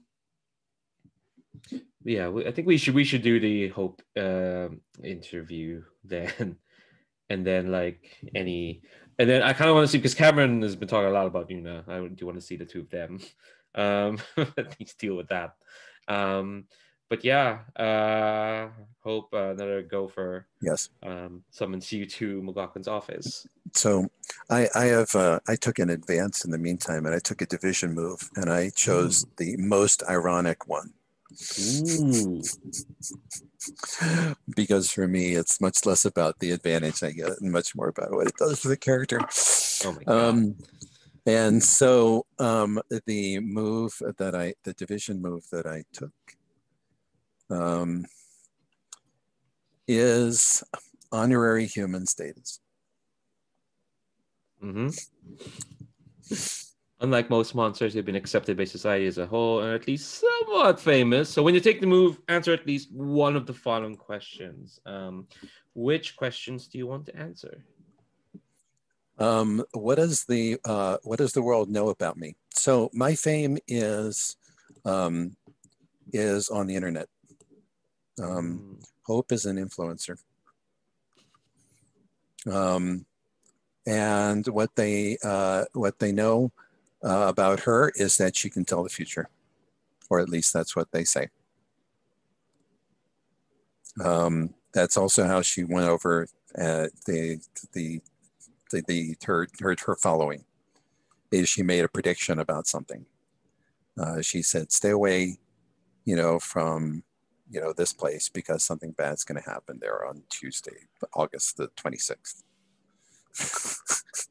uh, and you know there was, and it was like a, um, you know, uh, uh, you know, six car pileup or something. You know, some you know the truck over truck, a chemical truck overturned. You know, the, the, then you know, you know, burned a couple buildings down, kind of thing. It was. Uh, uh, uh, something catastrophic, but not a terrorist attack or anything like that. Um, and of course, what I have to hide from my the public at all costs is that I'm not human, because they think I am. They don't think I'm a monster that is is being treated as human. They think I'm a person. heck yeah. And of course, this doesn't necessarily sit all that well with Hope. It's just a thing that happens. You know, someone someone posted a video of her saying something uh, at some point, and then it's like, and this came true, and then you know, bam, she's got this following. and maybe somebody at the division said, you know, we could we use this. This is possibly useful. We want you to respond. Mm-hmm. So McLaughlin's idea. yes, so yeah, so I'm going to come into McLaughlin. I'm going to take my phone out. I'm going to bang it on the table, and I'm going to say, "Was this your idea?"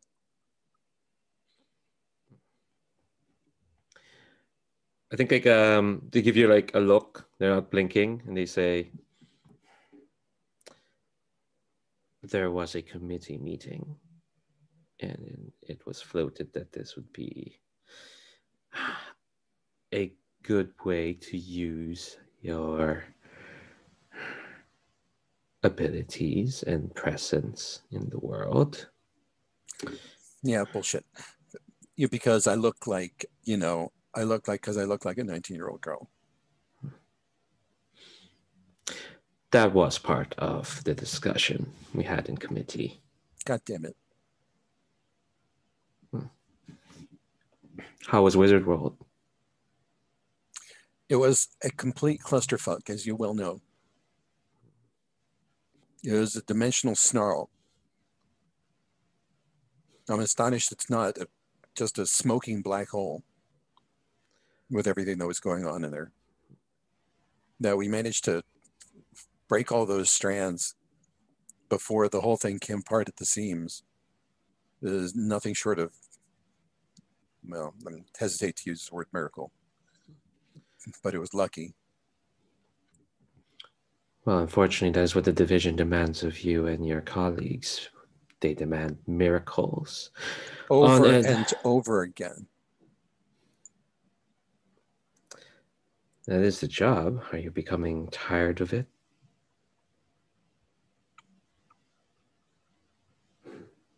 Because if you are, the you only need to say so. I'm sure we can find other You know- ways. You know, I.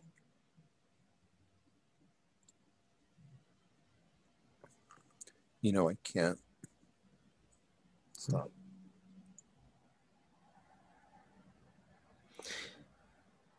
So I'm going to throw two tokens into first encounter because this can only end badly. So I'm going to roll it. mm-hmm. Mm-hmm. That's a 13, which I pretty much expected. Uh-huh. You are deeply afraid of them.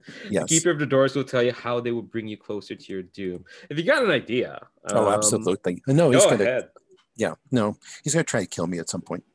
Oh yeah. Uh, uh, it's done- just he- when. It's just a question of when. It's just a question of when they're going to try. They're going to decide I am too dangerous, and they're going to eliminate. They're going to try to ambush me and eliminate me. Yeah. I mean, this is why he- was so unconcerned when Cameron was throwing his his tantrum. Uh, everyone's throwing a tantrum apparently uh, in the office. Um, No, they you know, it- when I said and when I said I was, a, you know, that you know humanity was the enemy. Um, yeah, he's the personification. Mm. Um, they've they've used me over and over again.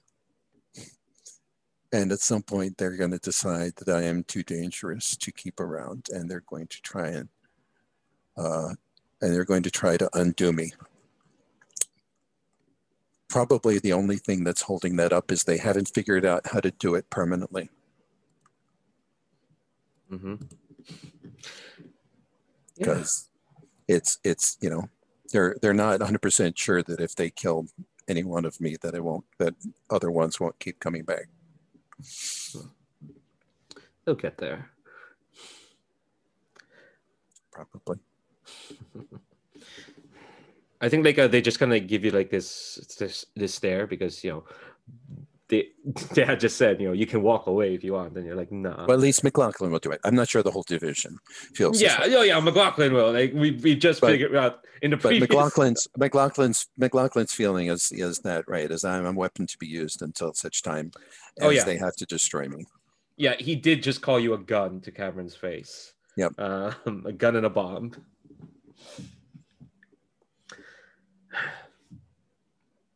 so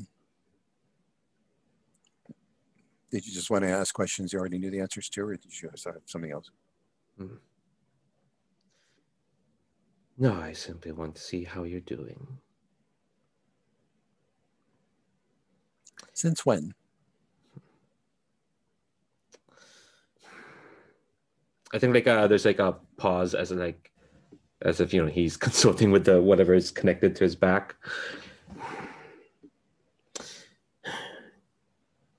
You're not wrong that there has been an unfortunate amount of dimensional flux in the world. The business in Dublin with the preachings of different afterlives, this multiple snarls in wizard world there has been an uptick in activity and of anyone here in the division you are best suited in the traversal of time and space Yeah. Hmm. You need me to disentangle it. As usual.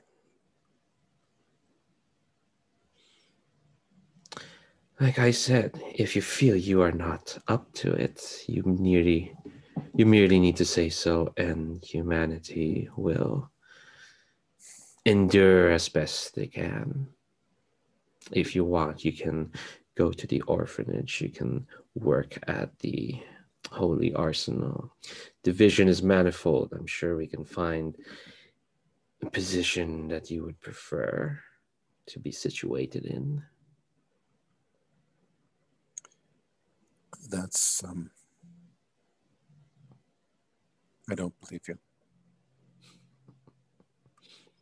Um, can I ask you to listen to the dark while you're while you're here? Sure. Listen to the dark.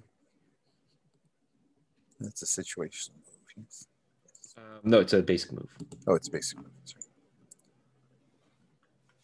All right. I'll spend two.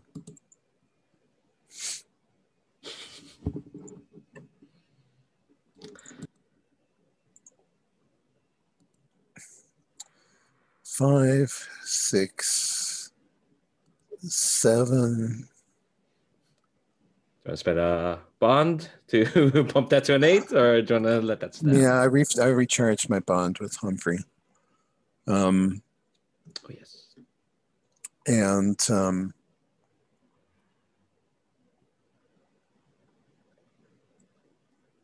uh, I I put a hand on the table, and for a moment, it vibrates, and then. Um, um, and the the motion wakes up Humphrey, who goes, who meow, um, and jump off the table, and the moment passes. Um, the insight that I gain is that I need these people as much as they need me. Is I work for the division because this is because the, working through the division is the only path, only paths that offer anything except the remotest probability of of of um, saving my people.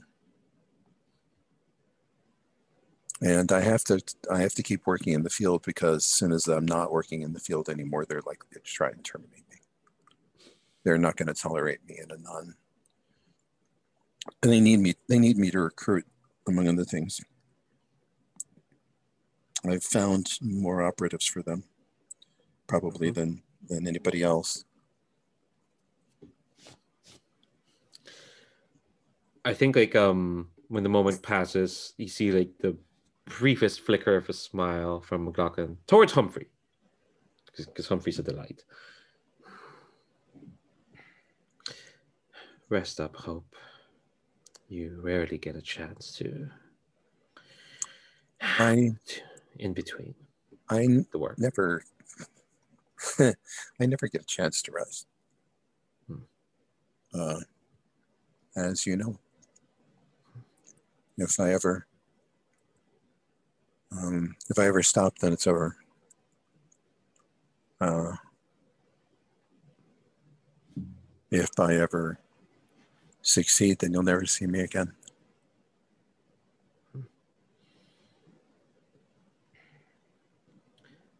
But in like- the meantime, I have to get up every day and keep trying. I've uh, I've pulled the division out of the ashes more times than you know.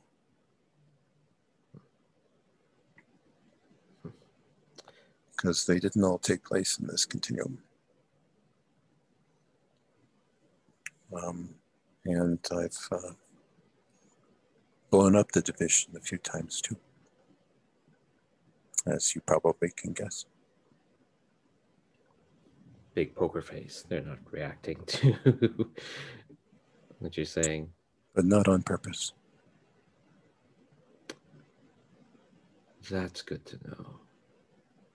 I need, I, we coexist because you need me and because I need you. And you do well to remember that the next time you're thinking about trying to kill me. Duly noted. When next you see Operative Sweet Tooth, tell him to return my frog, would you? Oh. He took a frog? He took a frog. Oh, how strange. He likes the frogs. That's probably why. If he wanted his own frog, he he need he needs to go through requisitions and assets and go through the proper channels. He can't just take my frog. I hope you understand the gravity of the situation. No, I, I really don't. Um, but I'll mention to him. Good. All right. I think that's like that good as Yeah, like so, just a yeah. dismissal. Yeah. All right. The- So yeah, if you excuse me, I've got about hundred posts uh, to answer. And I start rolling my eyes. Just gonna like, stiff nod. Hope has yet not learned the lesson not to read the comments on. on, on You don't need to reply to all of them. You don't need I'm to read reply- them. I'm not replying to all of them. I have I have I have fifty thousand followers. I just you know they they expect they expect some some vague pronouncements. That's fair. Most of what most of what I tell them is, you know, is uh, you know, typical horoscope bullshit. I see it in there enough real, enough real uh, prognostication to um, keep them going. Just little bits and pieces. Um, okay. Now we have, we still have some time. Does Cameron or you know want to do something? So we haven't seen Cameron in a while. Yeah, um, I'm already uh, somewhat close to epilogues or something like that because I have an idea for that. But uh, if anybody wants to uh, have a scene or something uh, without Cameron, I don't know if, if Una and Hope want to meet up now that uh, some things are more or less uh, clear than before. Oh, so Cameron's just not is is is is squirreled away doing something. He is, yeah, Okay. he Okay. he made up up his mind about something and uh, working on that. Okay. Uh, you know, is there anything else you want to do? Um, I don't think so. Um, yeah, nothing jumping out at me. Okay. Well, like I said, we're doing a short session, so we can do like closing shots of each character, like kind of like epilogue, setting up, you know, what else. Uh, you know, kind of like just like teases of what might be happening in the future. Um, so why don't we start with Cameron since uh, since you've got an idea there, Mario? Okay. Um, yeah. Um, I've been. Um, we just saw Cameron uh, doing the research. Um, checking Hope's files. Um, and after he found out everything was totally different uh, than uh, he expected it to be, um, he looks quite, quite troubled um, and uncertain. And after a couple more seconds or minute, nobody can can really tell. Um, all the expressions vanish uh, from his face. He goes through through the files again, and we see the file of uh, Anther. Um, and he takes it like he's he's wearing that trench coat, so uh, I assume uh, I can can hide it quite well. Takes the frog um, and walks out uh, into his little um, room um, where he writes two notes on the first piece of paper uh, he finds. Uh, one uh, one note says, um, uh, "Just a moment, I wrote it down.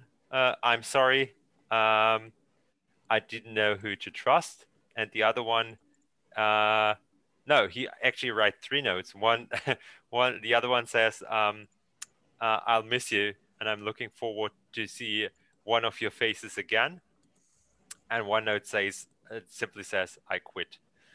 Um, and the one I quit um, still is still laying on the table when he leaves the room. Uh, he doesn't really take anything with him.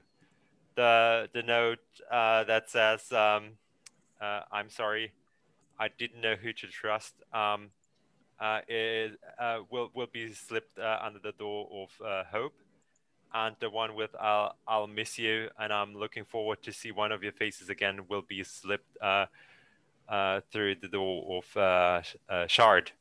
Um, and with that, we see a tall crocodile in trench coat leaving the headquarters um, and still quite angry, kicking, kicking a few things over, um, but not looking back.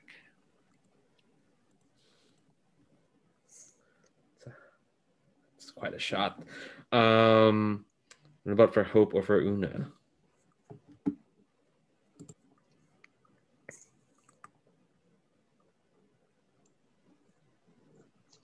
Uh, I'll go next. So, um, I think we,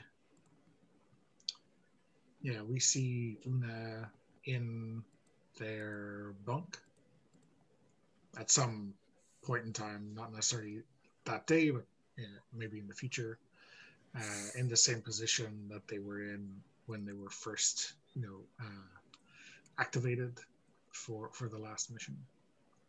Uh, but they're like pointing a finger at the. I imagine it's like really industrial, really um, haphazardly put together in a hurry, and they're pointing uh, a finger at like these pipes that are running along the the ceiling corners mm-hmm. and like pushing energy into them, uh, trying to activate some kind of harmonic resonance in them, trying to explore the rest of the compound, uh, and just try to kind of achieve that or explore that feeling of being hemmed in uh, while in McLaughlin's presence earlier.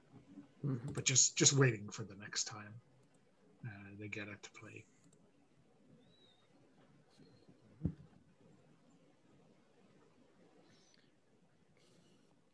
Just hoping. Um, what about hope? Hope is um, um, sitting in front of, um, of, of a laptop computer, and she's she's um, answering some things on um, on uh, on on Facebook and finishing up a little TikTok video which she posts. And then she sighs and she calls up an app. Um, and the the app uh, acts like a multifaceted mirror. It actually it shows many pictures of hope on the screen. Um, all kind of looking back at her. And she looks around at them and she talks to the screen and says, I um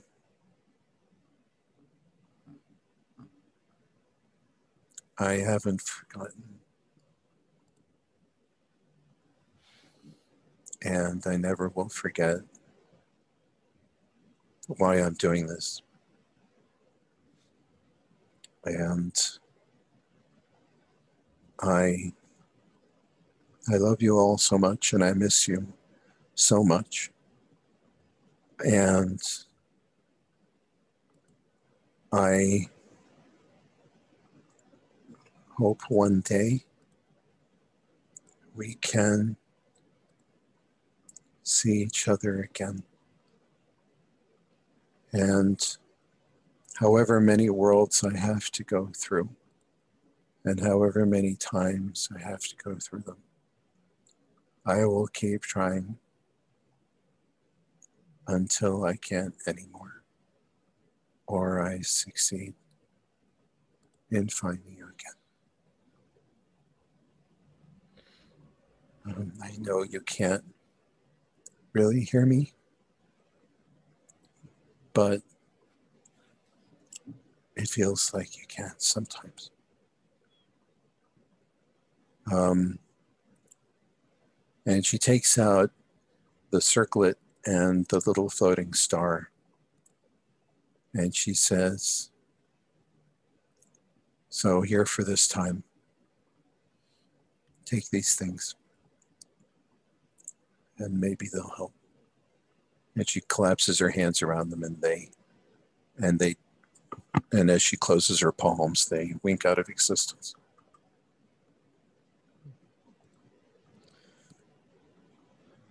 and then she turns off the app and closes the laptop. I think I've got two shots to end the the this this run. Um, one shot is of McLaughlin still sitting in his office.